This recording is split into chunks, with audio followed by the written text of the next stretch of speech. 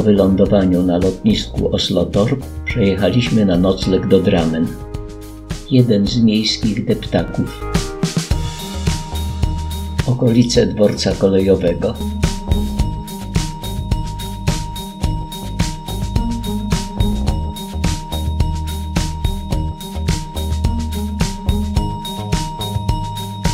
Rzeźba z brązu Trzy dzielnice wykonana przez Pera Huruma.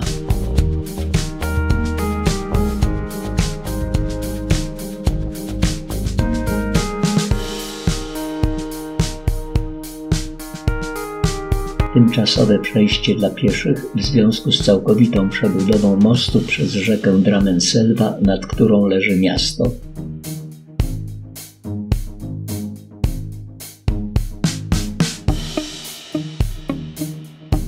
W oddali most dla pieszych Y, nazwany tak ze względu na swój kształt.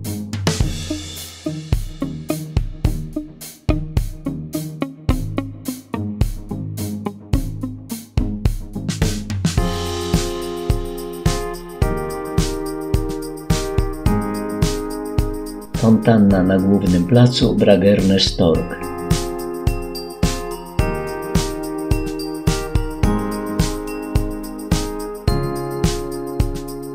Ratusz z 1871 roku, zbudowany w stylu średniowiecznego zamku.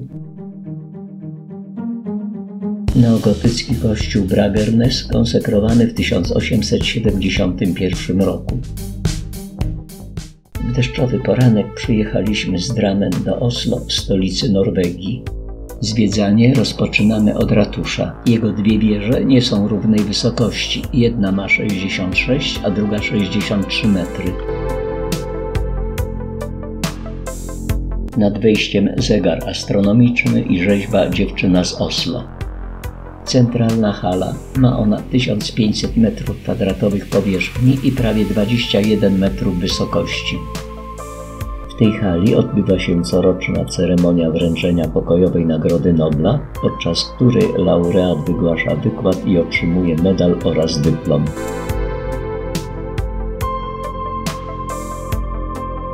Fresk autorstwa Alfa Rolfsena Płaskorzeźba Dakwina Berenskiolda Drzewo życia.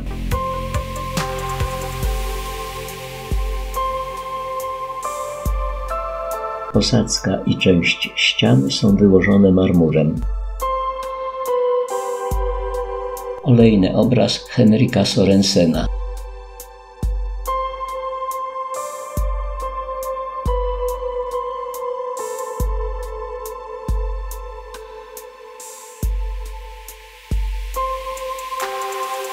Obraz Karla Hegberga Życie biznesowe w dawnych czasach. Ratusz wzniesiono na końcu Oslofjordu. Chodzimy na piętro.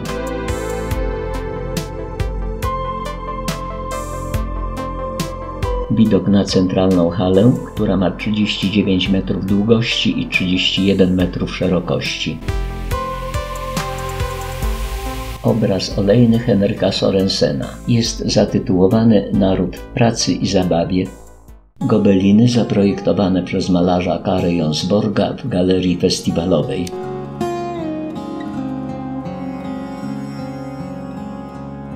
Fresk autorstwa Axela Rewolda.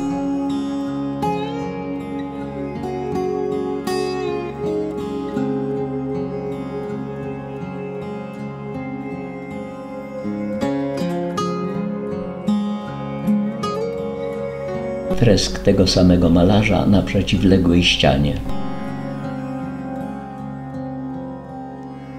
Widok z ratusza na Oslofjord.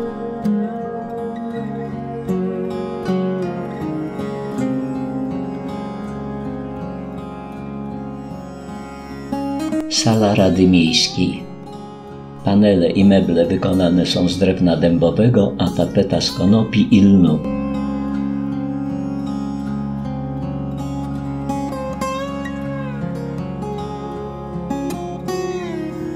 Gobelin w sali obrad rady przedstawiający świętego Halvarda, patrona Oslo. Sala bankietowa z podłogą wyłożoną białym marmurem i obrazem Willego Middelfarta. portrety rodziny królewskiej na ścianie pokrytej adamaszkową tapetą. Wnętrze galerii wschodniej zwanej Salą Kroga. Fresk Pera Kroga, miasto i okolice. Inny fresk Pera Kroga w galerii wschodniej.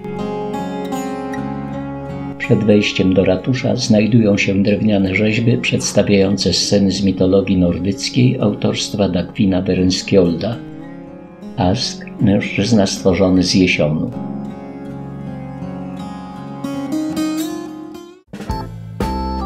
Fontanna łabędzi widziana od strony wejścia do ratusza.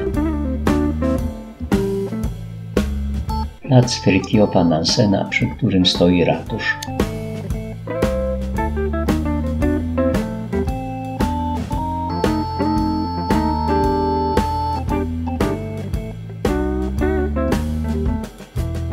Idziemy na tyły ratusza w kierunku Oslofjordu.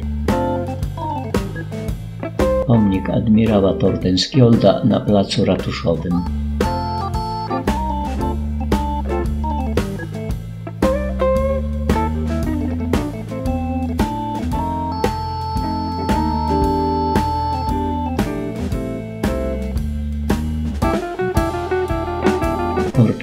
Piperwika z nabrzeżem dla żaglowców.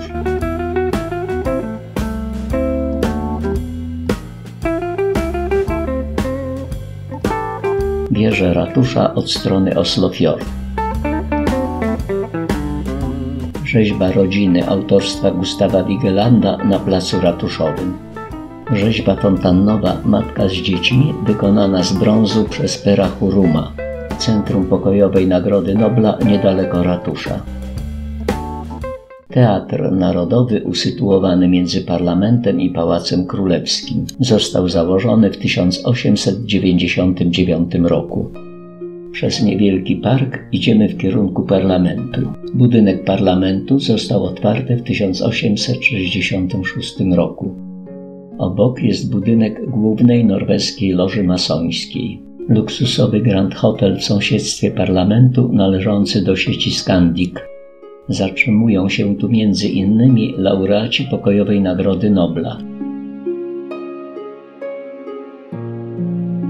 Budynek Tostrup Garden ze sklepami i biurami. Spod parlamentu idziemy w stronę Pałacu Królewskiego.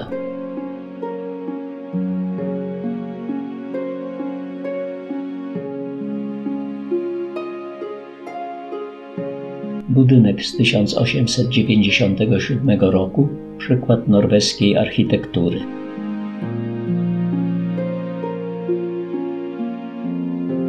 Uniwersytet w Oslo założony w 1811 roku.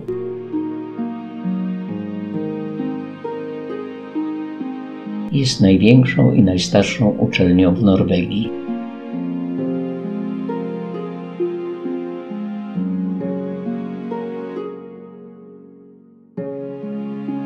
Kompleks budynków, w którym mieści się Ministerstwo Spraw Zagranicznych, Pałac Królewski, oficjalna siedziba norweskich monarchów. Obecnie mieszka w nim król Harald V wraz z małżonką. Pomnik króla Karola III Jana ustawiony tu w 1875 roku. Przed pałacem honorową wartę pełnią żołnierze Gwardii Królewskiej w tradycyjnym umundurowaniu.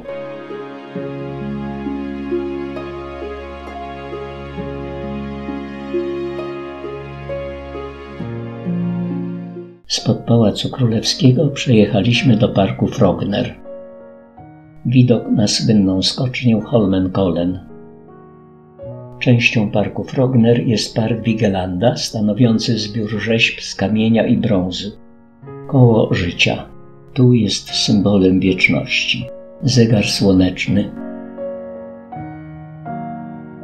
W parku Wigelanda jest ponad 200 rzeźb, przedstawiających łącznie prawie 600 postaci. W najwyższym punkcie kompleksu góruje monolit. To gigantyczna 14-metrowa kamienna kolumna uformowana z sylwetek nagich ludzi, którą tworzy 121 postaci.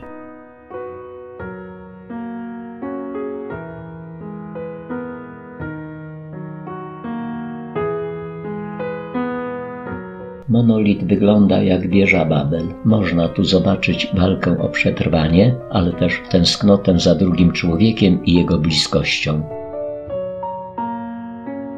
Kolejna część parku to fontanna. W 1907 roku Vigeland otrzymał od władz miasta Oslo zlecenie na projekt fontanny i to zapoczątkowało powstanie całego kompleksu, który został ukończony pod koniec lat 40. XX wieku, już po śmierci Vigelanda. Rzeźby przedstawiają etapy życia człowieka od narodzin po śmierć. Most to kolejna część tematyczna. Tutaj rzeźby opowiadają o relacjach między kobietami i mężczyznami oraz między dorosłymi i dziećmi.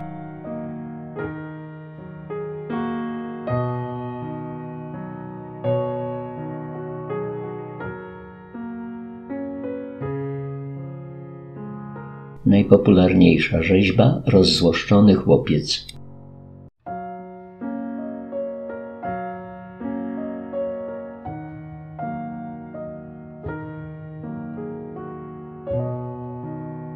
Widok na park Vigelanda spod bramy wejściowej. Bramę wykonano z kutego żelaza. Przejechaliśmy na półwysep Bygdoj, zwany Półwyspem Muzeów. Jest tu m.in. Muzeum Statków Ram. Zostało ono zbudowane w 1936 roku w celu prezentacji statku polarnego Fram, który służył norweskim wyprawom badawczym do Arktyki i Antarktyki. Statek powstał w 1892 roku na zamówienie podróżnika Fridtjofa Nansena. Trakcie wyprawy w latach 1893-1896 Nansen dotarł nim na odległość 300 km od bieguna północnego. W muzeum jest cały statek wraz z oryginalnym wyposażeniem z czasów wypraw polarnych. Model Frama tkwiącego w arktycznych lodach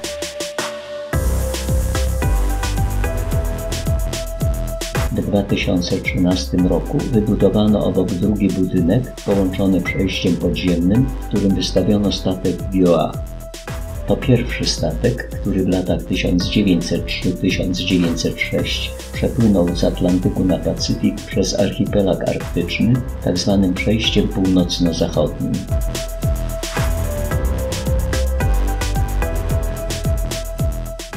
Zostajemy na półwyspie Bygdoj, ale przejechaliśmy do norweskiego Muzeum Ludowego. Na powierzchni 14 hektarów zebrano tu 155 starych zabytkowych budynków oraz 230 tysięcy artefaktów z całej Norwegii.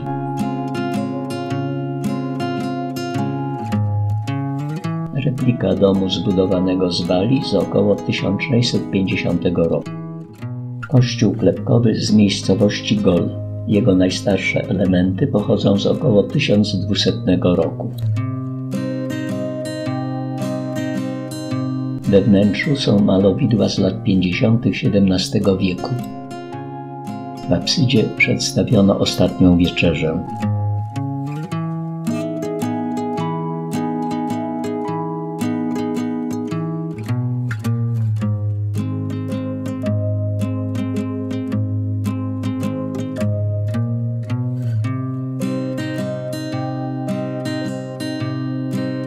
Spichlerz z połowy XVIII wieku. Dom farmera Ole Olsena Hove, wybudowany w 1738 roku.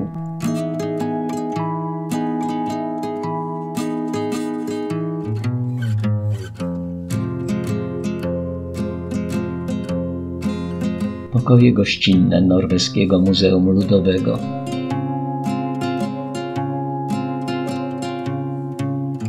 norweskie domy wiejskie z trawiastymi dachami.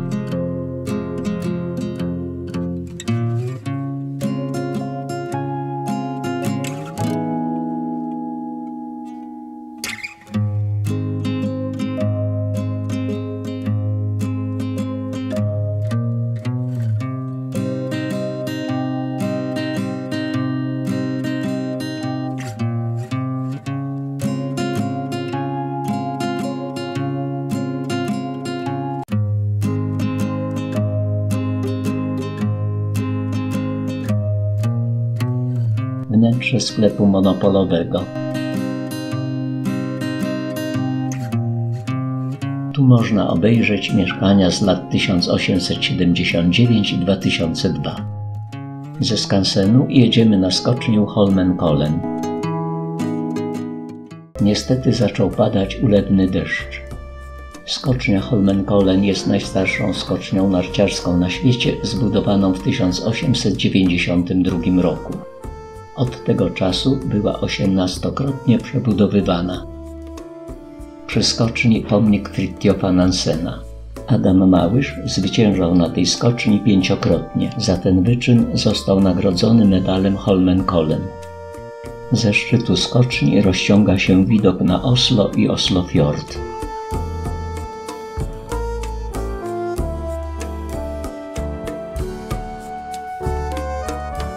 Jesteśmy teraz pod gmachem opery. Został on wzniesiony w stylu modernistycznym na styku morza z lądem.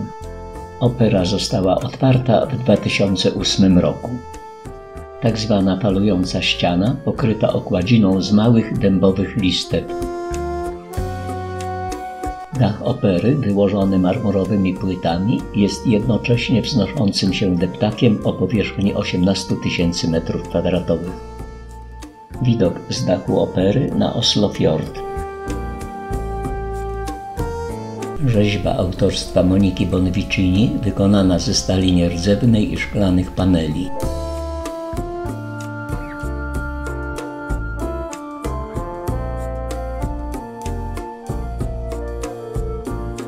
Oslo Havnelager wzniesiony z betonu w 1921 roku.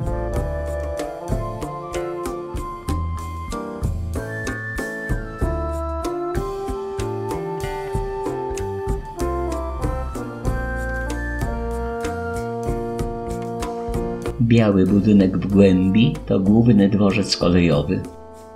Budynek opery ma 38,5 tysiąca metrów kwadratowych powierzchni. Na parterze mieści 1350 widzów, a dodatkowe 400 miejsc znajduje się na drugiej kondygnacji. Fasada jest szklana i wznosi się na wysokość 15 metrów. Kończymy pobyt w Oslo i udajemy się w dalszą drogę.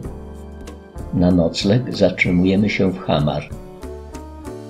Hamar leży nad jeziorem Miosa, największym jeziorem w Norwegii.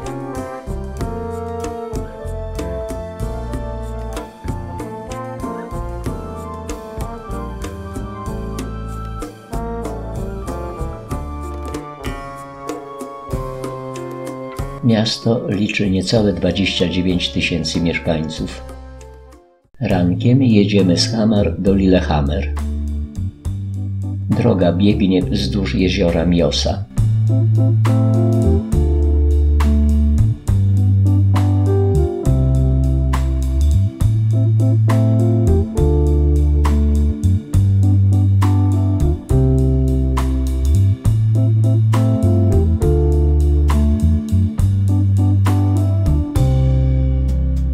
Podobnie jak Hammer, Lillehammer leży nad jeziorem Miosa i jest podobnej wielkości pod względem liczby mieszkańców. Pobyt w tym miejscu ograniczamy do skoczni narciarskich Lysgardbakken. W 1994 roku odbyły się tu 17 zimowe Igrzyska Olimpijskie.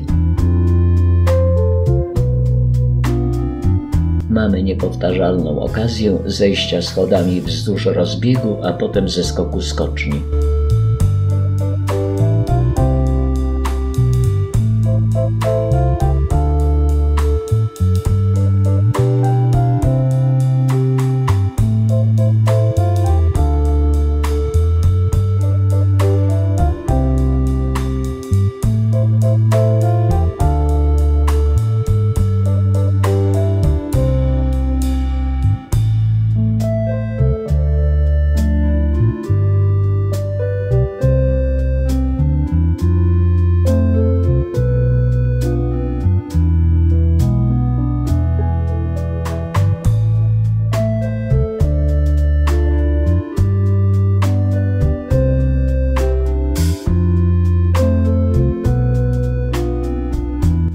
Olimpijski na końcu wybiegu.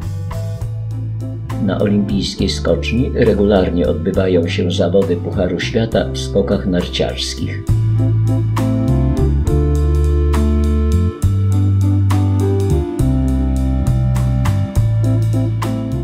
Zatrzymujemy się na krótki postój przy kościele słupowym w Ringebu.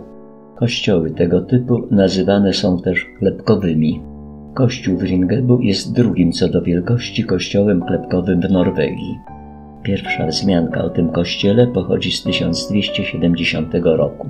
W trakcie przebudowy w 1630 roku dobudowano charakterystyczną czerwoną wieżę. Kościół jest otoczony cmentarzem, na którym do dzisiaj odbywają się pochówki. Prawie każdy grób jest obsadzony kwiatami, a wszystkie groby są starannie pielęgnowane.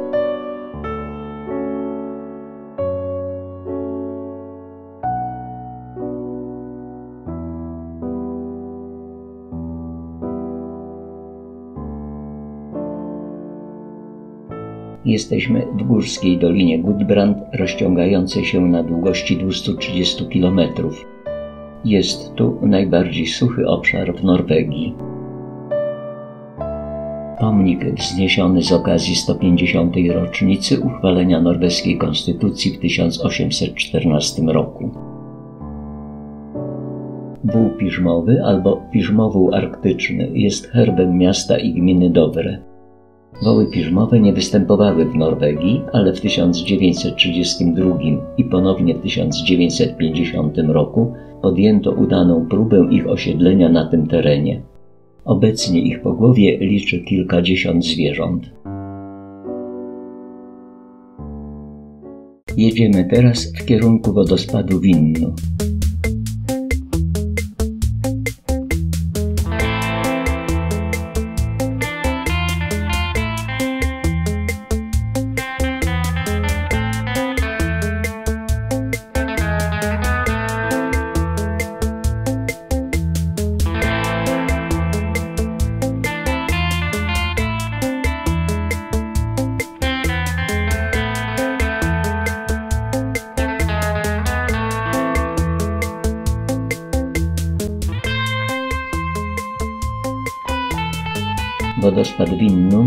865 metrów wysokości i jest najwyższym wodospadem w Europie. Spływają nim wody z lodowca Winnu-Fonna.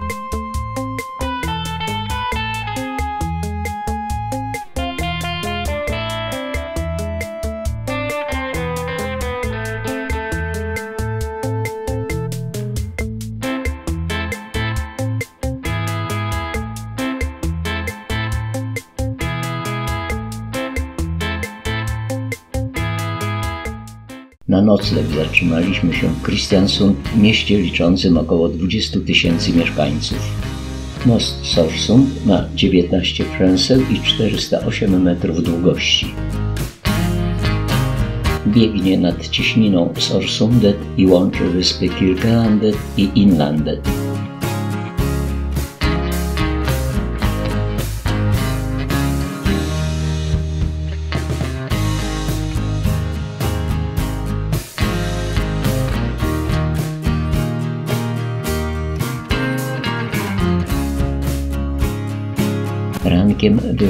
Wyruszyliśmy na drogę atlantycką. Właśnie dojeżdżamy do pierwszego punktu widokowego.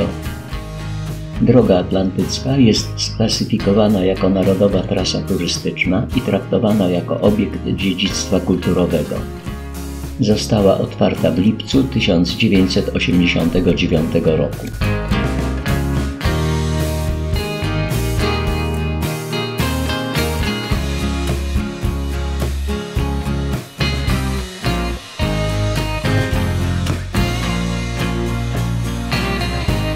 Dokładnie licząc, droga ma 8274 metry długości, a jej jezdnia 6,5 metra szerokości. Prowadzi przez archipelag częściowo zamieszkałych wysepek i szkierów.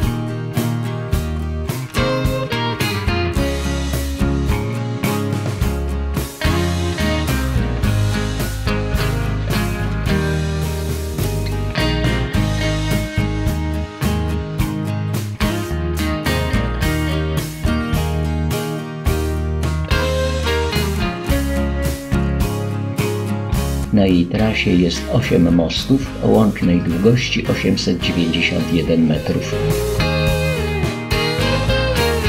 Zatrzymaliśmy się na kolejnym punkcie widokowym.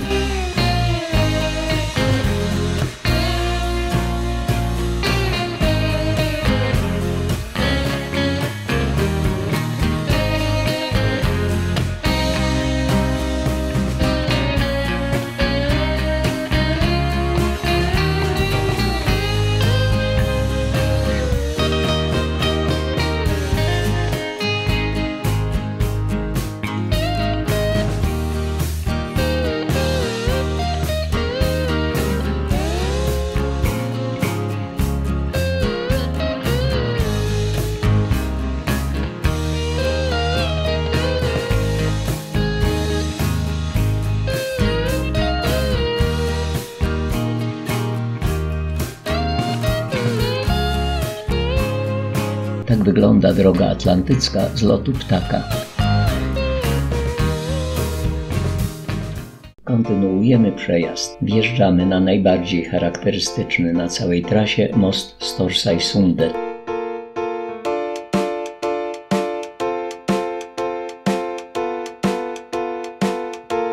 W rankingu brytyjskiego dziennika The Guardian droga atlantycka znalazła się w gronie najpiękniejszych tras samochodowych na świecie. W 2005 roku Norwegowie przyznali drodze tytuł Konstrukcja Stulecia. Przed nami trzy mosty Hulwogen.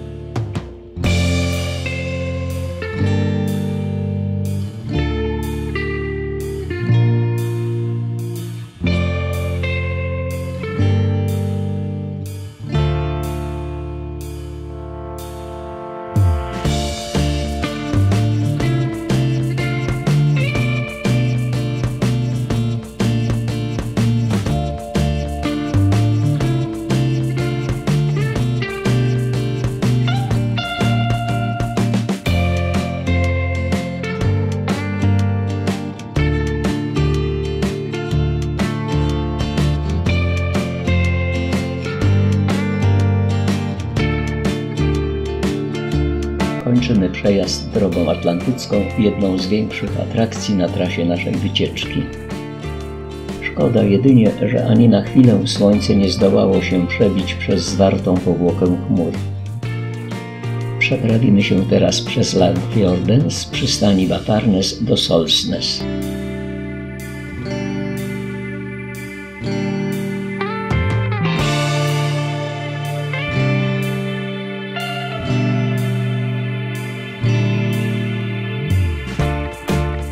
Przeprawa w poprzek fiordu trwa około 15 minut.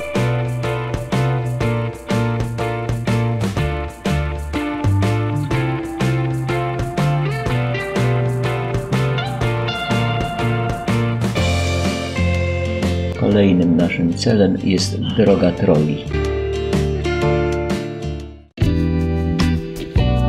Znak drogowy Uwaga trole. Wodospad Stigfossen o wysokości 320 metrów. Przejedziemy fragmentem drogi troli zwanym drabiną troli.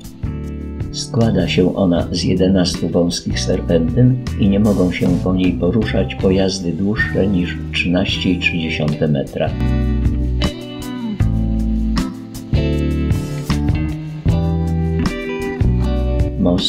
Którym przepływają wody wodospadu Stigfossen.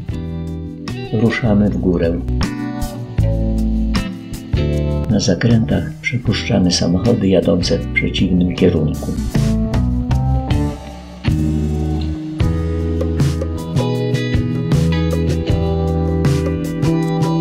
Mijamy wodospad.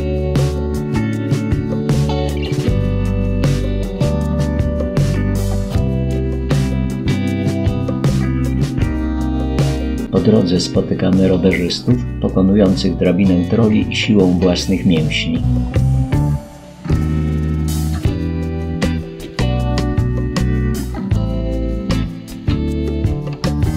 Drabina troli już za nami. Teraz z góry będziemy mogli spojrzeć na pokonaną trasę.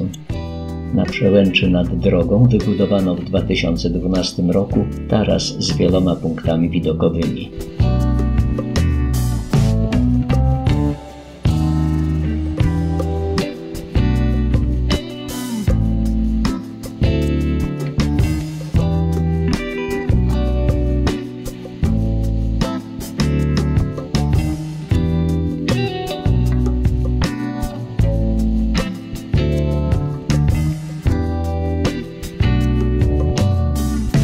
Trasa została otwarta w lipcu 1936 roku, a w 2012 roku przeprowadzono jej remont.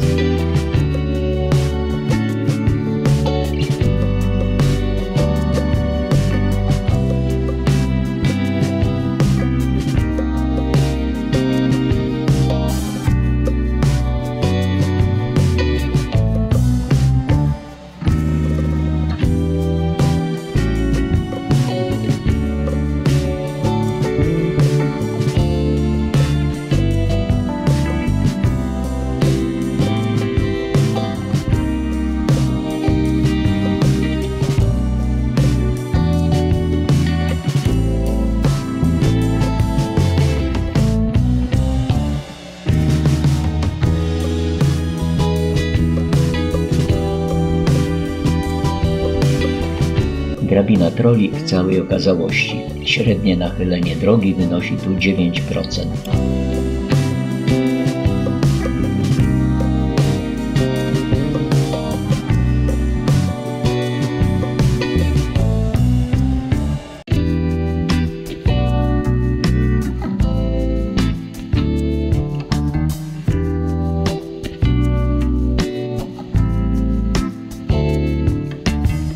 Drabina troli jest zamknięta od późnej jesieni do wiosny. W ostatnich latach obejmowało to najczęściej okres od listopada do połowy maja.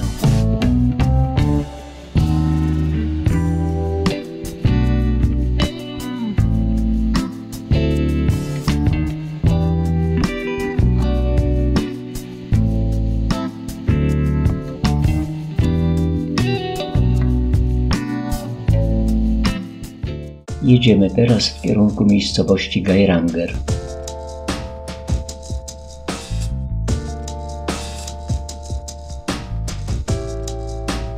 Zatrzymaliśmy się na platformie widokowej położonej przy drodze Orłów. Z wysokości 620 metrów spoglądamy na Geiranger.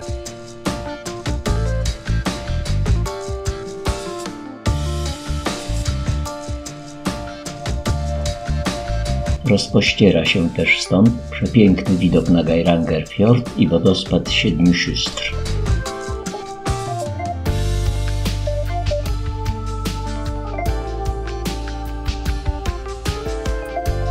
Zjeżdżamy drogą Orłów w dół, pokonując 620 metrów różnicy poziomów. Droga Orłów liczy 8 km, a jej nachylenie dochodzi do 10%. Została wybudowana w 1954 roku. Nie zatrzymujemy się jednak w Geiranger, lecz jedziemy na górujący nad miasteczkiem punkt widokowy na szczycie Dalniba. Bardzo stromą drogą musimy wspiąć się z poziomu morza na wysokość 1500 metrów.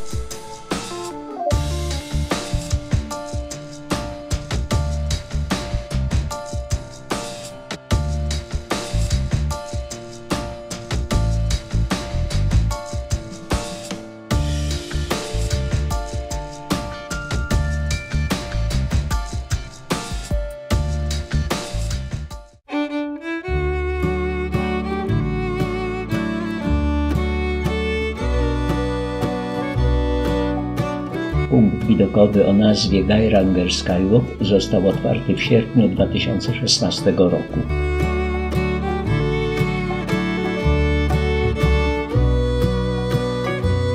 Półtora kilometra pod nami leży Geiranger i Geiranger Fjord.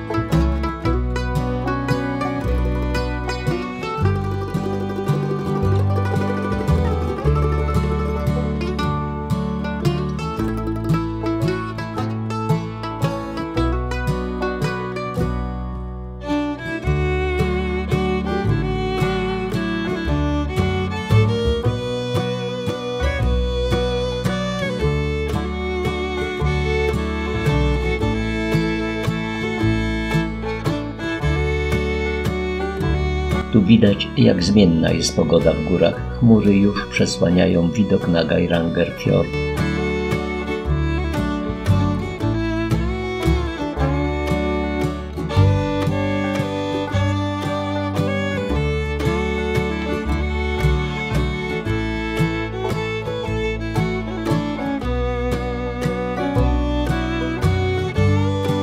Teraz tylko 1500 metrów w dół i dotrzemy do Geiranger.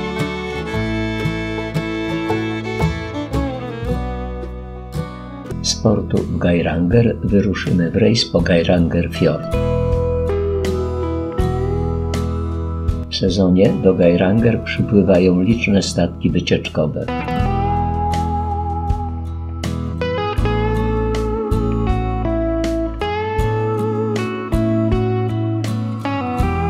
Niewielkim wycieczkowym statkiem wypływamy w rejs.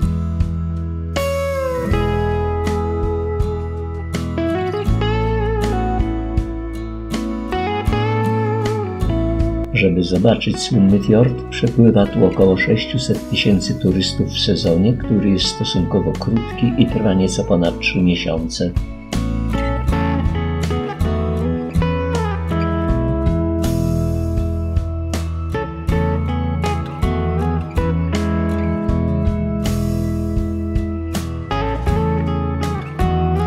Fjord Geiranger jest uważany za najpiękniejszy fiord w Norwegii. Ma około 15 km długości i od 600 do 1500 metrów szerokości. Fiord układa się w kształcie litery S, co wyróżnia go spośród innych norweskich fiordów. Otaczają go góry o wysokości do 1500 metrów.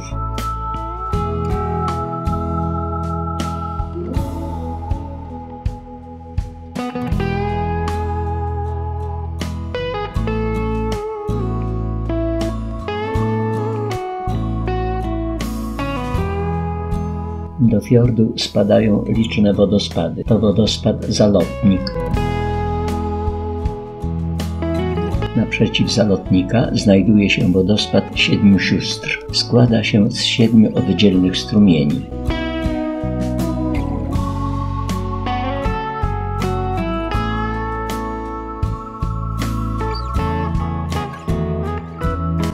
2005 roku Fjord Geiranger został wpisany na listę Światowego Dziedzictwa UNESCO.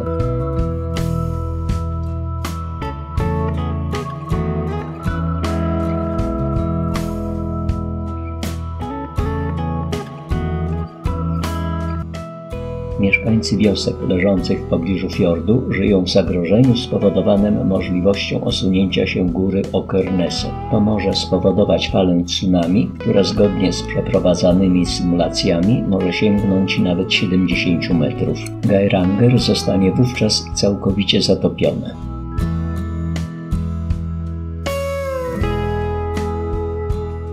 Wody fiordu mają do 260 metrów głębokości, dlatego do Geiranger mogą dopływać ogromne wycieczkowce.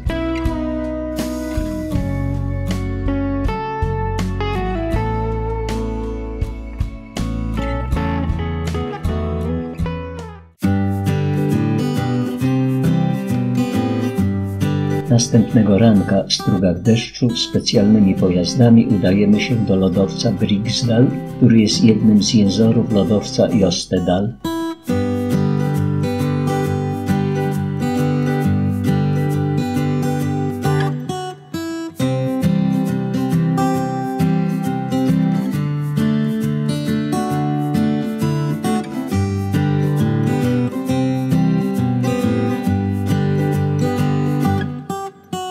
Po drodze mijamy wodospad Kleivafossen, który wszystkich turystów traktuje prysznicem z zimnej lodowcowej wody.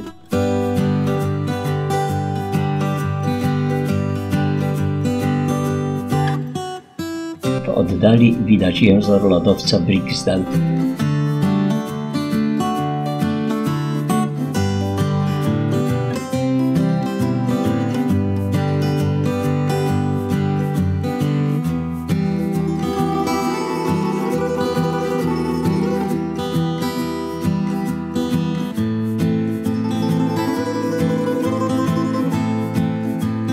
Wody spływające z lodowca Jostedal, który jest największym lodowcem w Europie kontynentalnej.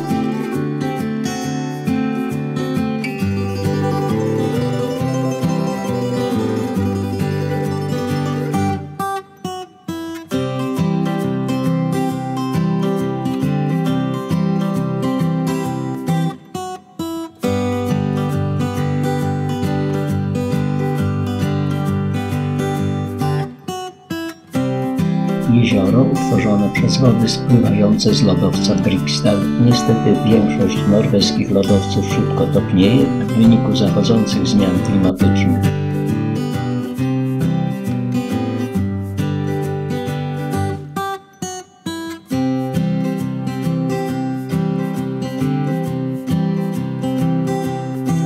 Fragment czaszy lodowca Jostedal.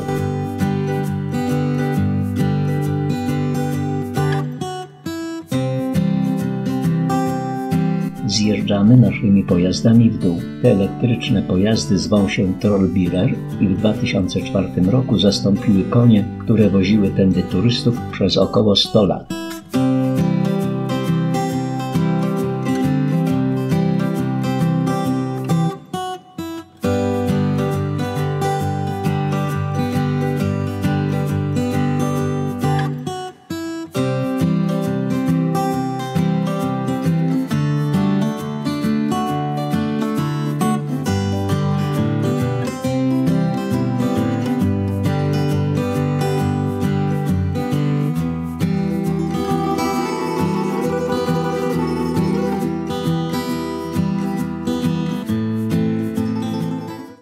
Drodze na nocleg zatrzymujemy się na chwilę nad zielonymi wodami lodowcowego jeziora Oldevatnet.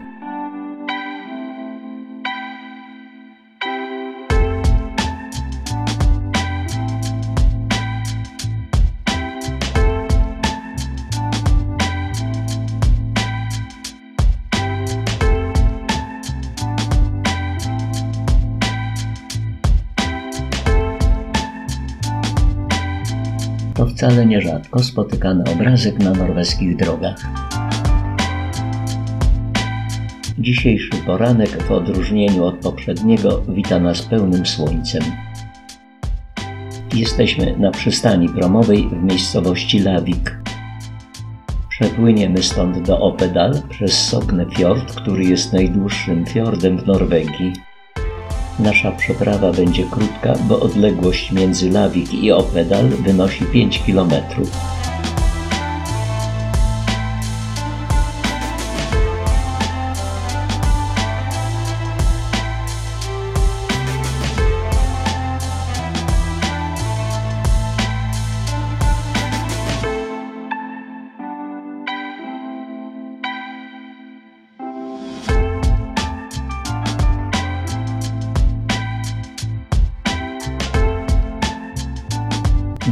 Dopływamy do Opedal.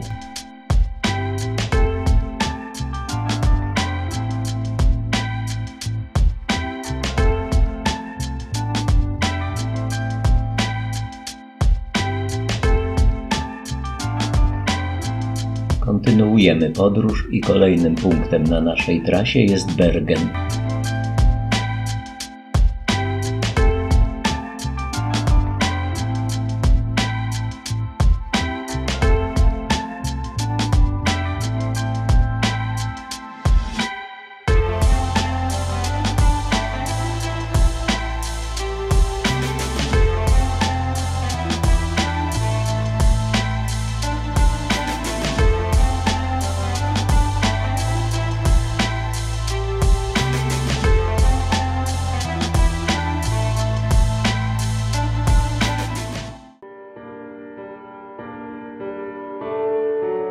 Zwiedzanie Bergen rozpoczynamy od wizyty w posiadłości Troldhauden, dawnego domu norweskiego kompozytora Edwarda Griga i jego żony Niny.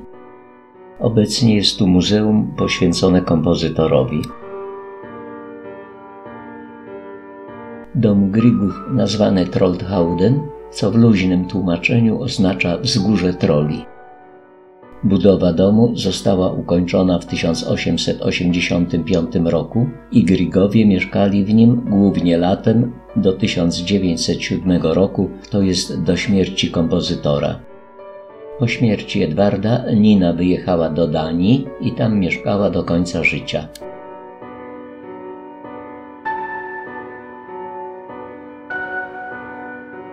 Wnętrze sprawia wrażenie, jakby dom był dopiero opuszczony przez właścicieli.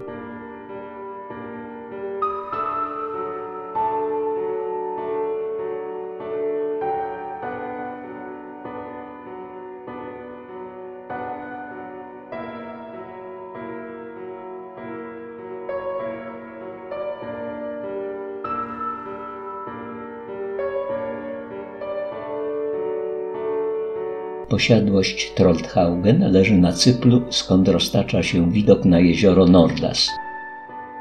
W tej skale jest grobowiec Edwarda i Nieny Grigów, zawierający urny z ich prochami.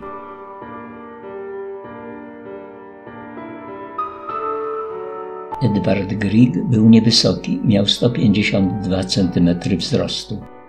Sala koncertowa wybudowana w 1985 roku, której można posłuchać muzyki Griga na żywo.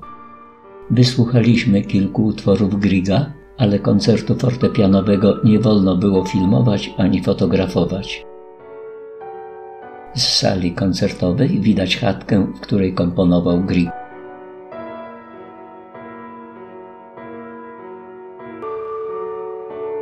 Kończymy pobyt w Trollhaugen widokiem spod chatki Griga na jezioro Nordas. Jesteśmy teraz w Bryggen, najstarszej dzielnicy Bergen. Została ona wpisana na listę Światowego Dziedzictwa UNESCO. Szereg hanzeatyckich budynków handlowych. Mieściły się w nich składy i kantory kupców.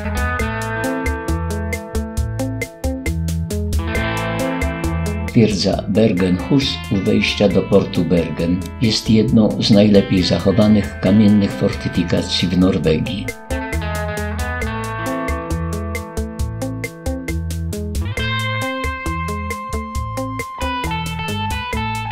Gmach Sądu Rejonowego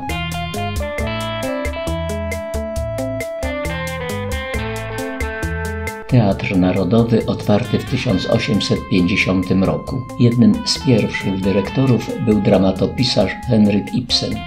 W teatrze są trzy sceny i corocznie jest przygotowywanych około 20 różnych przedstawień.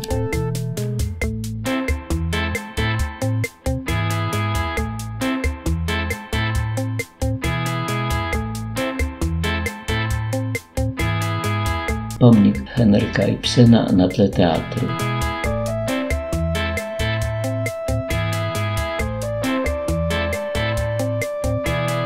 Dziewięciometrowej długości. Tak niebieski kamień, punkt spotkań mieszkańców Bergen. Skrzypek Ole Bull, inicjator budowy Teatru Narodowego. Pawilon estradowy, a w tle góra Ulriken.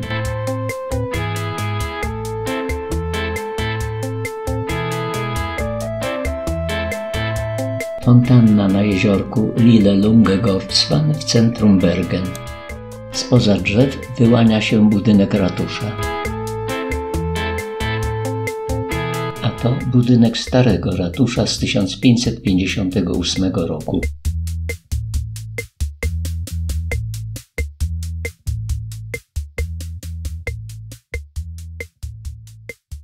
Luksusowy hotel Opus 16 w zabytkowym budynku z 1876 roku. Należy do sieci Edward Grieg Heritage.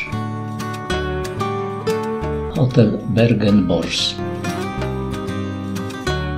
Zatoczyliśmy koło i wróciliśmy do Bryggen, dzielnicy, od której zaczynaliśmy zwiedzanie Bergen.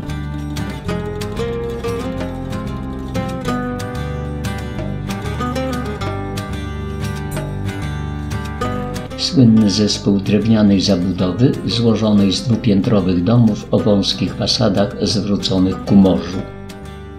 Drewniane domy z XVIII wieku. Domy stojące tu wcześniej spłonęły w pożarze w 1702 roku.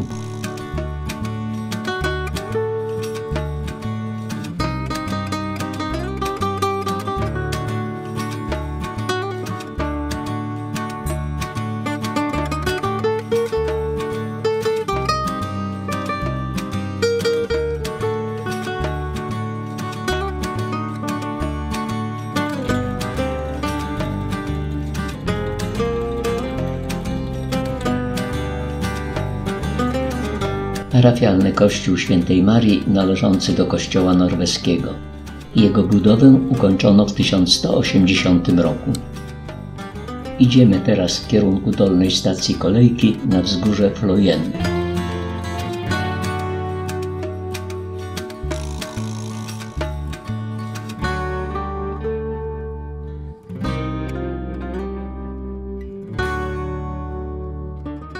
Dolna stacja kolejki.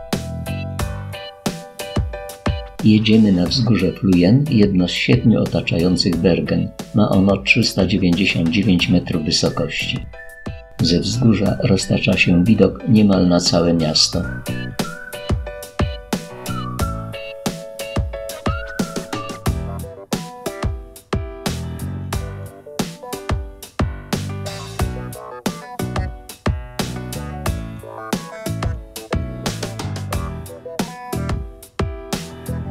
Bergen liczy 290 tysięcy mieszkańców i jest drugim pod tym względem miastem Norwegii, ustępując jedynie Oslo.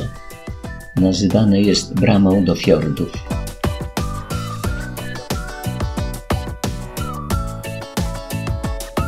Uważa się, że miasto zostało założone w 1070 roku, ale najnowsze badania wskazują, że było to około 50 lat wcześniej. W XII i XIII wieku Bergen było głównym ośrodkiem politycznym Norwegii, formalnie zostało stolicą w 1217 roku. Do połowy XIX wieku było największym miastem i głównym portem Norwegii.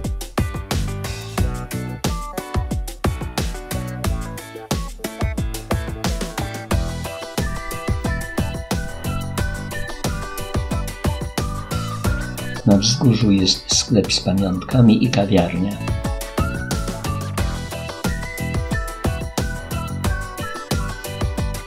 Jest także restauracja.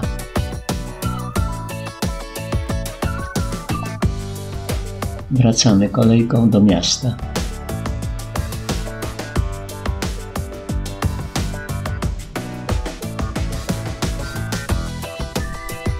Zwiedzanie Bergen kończymy wizytą w rybnej restauracji Fish Fish Market.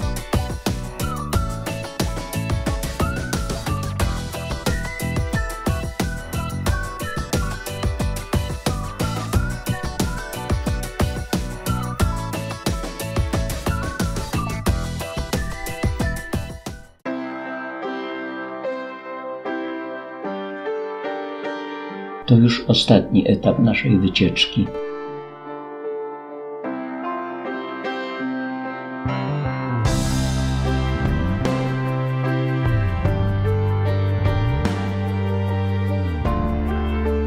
Zatrzymaliśmy się w miejscowości Stein, by zobaczyć wodospad Steindal. Jest on na rzece Poselwa i ma 46 metrów wysokości, przy czym główny spadek ma 20 metrów. Pojawił się tu w 1699 roku, gdy rzeka zmieniła bieg. Jest jednym z najczęściej odwiedzanych i fotografowanych miejsc turystycznych w Norwegii. To jeden z niewielu wodospadów, gdzie można wejść za ścianę spadającej z niego wody.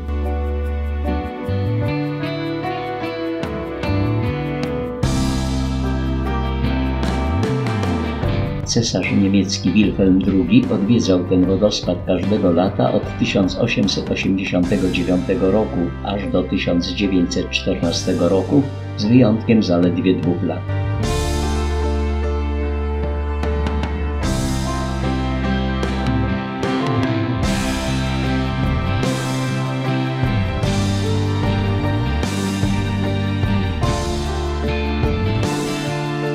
Jedziemy teraz w kierunku miejscowości Ovre Eidfjord, gdzie znajduje się norweskie Centrum Przyrody Hardanger.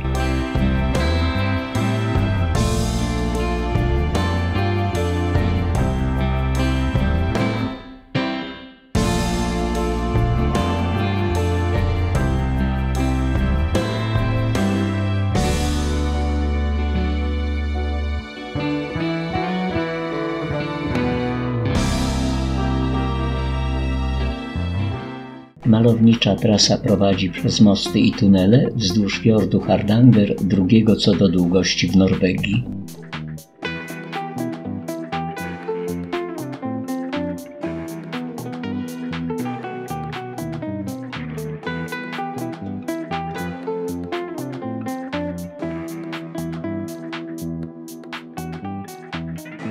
Rondo w tunelu prowadzącym bezpośrednio do najdłuższego mostu wiszącego Hardanger.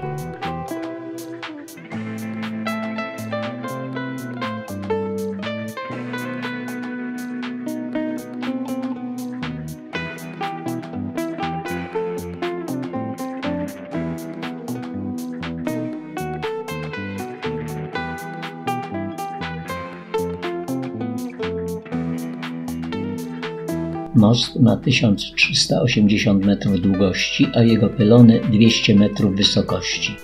Został przerzucony nad wodami o głębokości do 1000 metrów, a jezdnia znajduje się 55 metrów nad lustrem wody. Wjazd do tunelu na drugim krańcu mostu.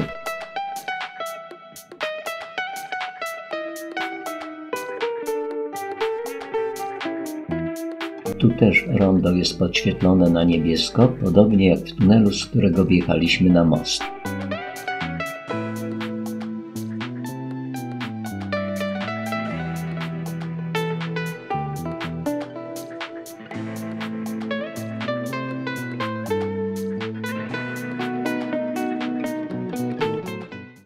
Norweskie Centrum Przyrody Hardanger zostało otwarte w 1995 roku. Jego celem jest przy wykorzystaniu nowoczesnej technologii upowszechnianie wiedzy o norweskiej przyrodzie. Można tu przyjrzeć się bliżej dzikiej przyrodzie, naturze i klimatowi. Cała ekspozycja zajmuje trzy poziomy i została pomyślana jako podróż w czasie od 3 miliardów lat temu do współczesności. Centrum wyświetlany jest film o atrakcjach Parku Narodowego Hardanger. To krótkie fragmenty z tego filmu.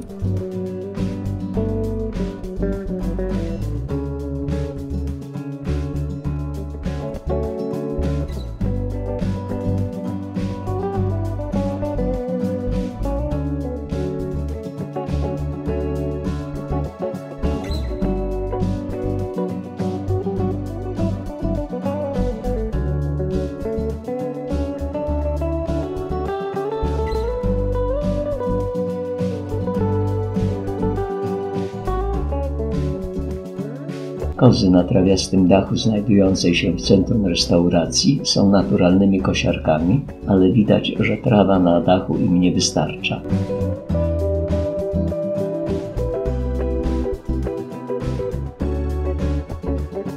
Centrum jest położone w pięknej okolicy.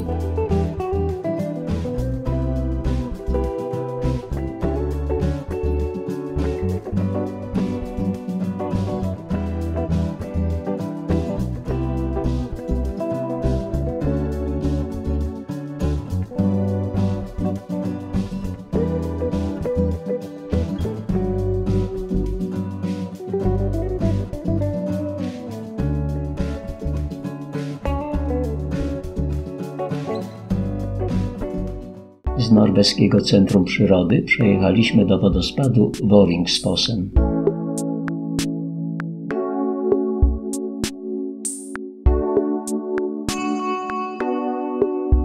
Ma on 182 metry wysokości i nie należy do największych, ale jest jednym z najczęściej odwiedzanych miejsc w Norwegii. Jego wyjątkowość polega na tym, że tuż przy kanionie łączą się dwa wodospady spływające z przeciwnych stron, co jest widokiem bardzo rzadko spotykanym. Wodospad jest na rzece Biorejo, która odpływa stąd malowniczym kanionem. Kompozytor Edward Grieg miał w pobliżu chatę i często odwiedzał wodospad.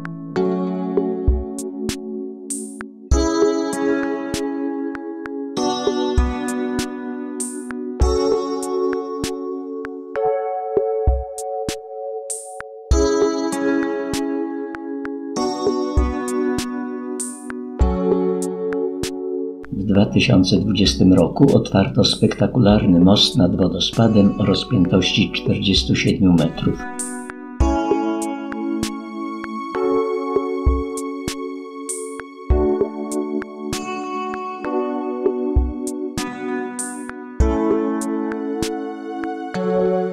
Jedziemy teraz przez płaskowyż Hardangerwida, który jest największym płaskowyżem w Europie. Jego powierzchnia obejmuje 8000 km2, a średnia wysokość waha się od 1100 do 1400 metrów.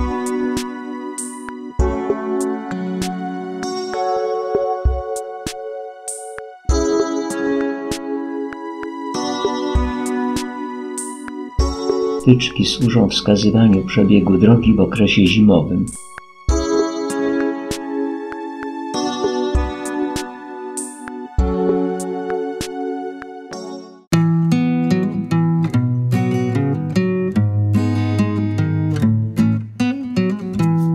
Zatrzymujemy się na krótki postój. Chata Samu, a w stosownej odległości od niej Sławojka.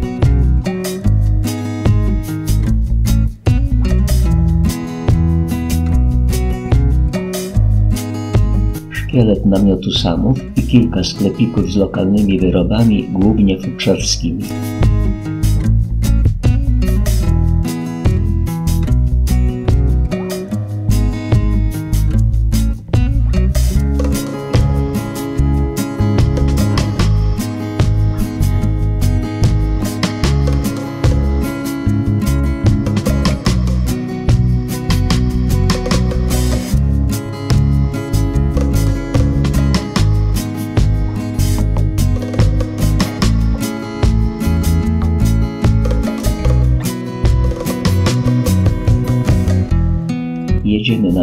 Do Dramen, by następnie odlecieć z lotniska Oslo-Torp do kraju.